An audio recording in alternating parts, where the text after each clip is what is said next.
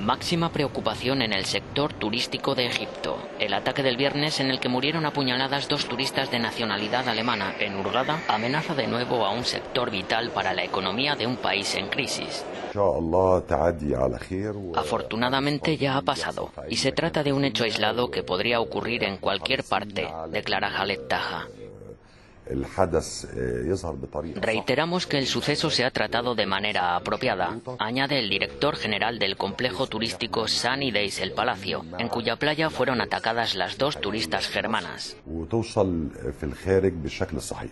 El ataque, el primero contra turistas en Egipto desde enero de 2016, fue perpetrado por un hombre de 27 años, desempleado, sin antecedentes penales ni afiliación política.